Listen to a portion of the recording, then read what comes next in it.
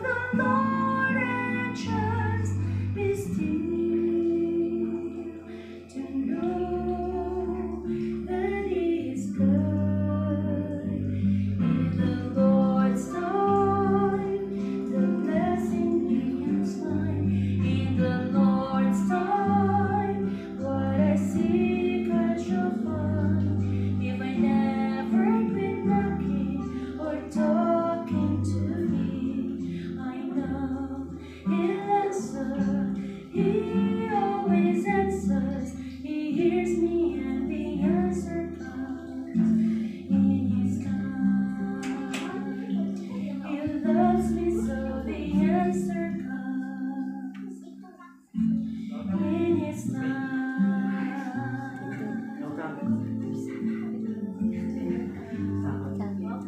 Okay, welcome.